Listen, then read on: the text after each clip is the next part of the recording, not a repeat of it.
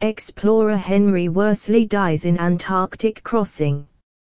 Explorer Henry Worsley has died after suffering exhaustion and dehydration during an attempt to cross Antarctica.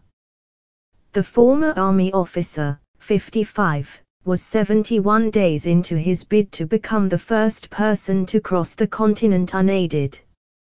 In a statement, his wife Joanna said she felt heartbroken sadness. Mr. Worsley, from Fulham in London, died of complete organ failure, she added.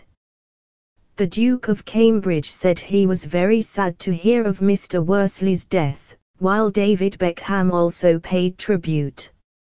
He was a man who showed great courage and determination and we are incredibly proud to be associated with him, the Duke said. On Instagram, Beckham said he was lucky to have met Henry, who served our country for so many years. 30 miles short. The Remark Group, which was supporting Mr. Worsley's effort, said he was 30 miles short of his ultimate goal. When Henry was picked up by Antarctic Logistics and Expeditions, ALE, he was suffering from exhaustion and dehydration, the group said in a statement. He was flown to a hospital in Punta Arenas, in Chile, where he was found to have bacterial peritonitis. This resulted in Henry undergoing surgery but in spite of all the efforts of ALE and medical staff, he succumbed.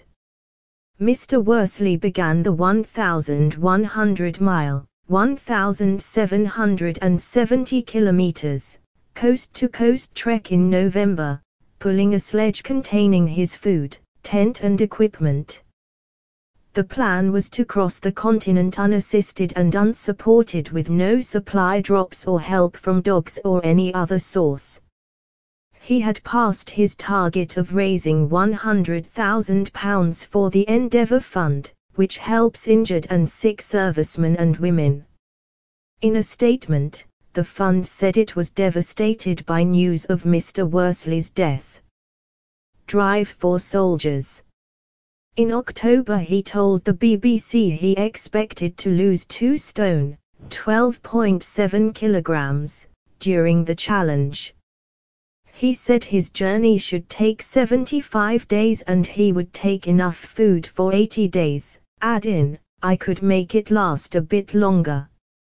Asked if he was mad to take on the challenge, he said, there is no black art to sliding one ski in front of the other. What will drive me on is raising money for these wounded soldiers.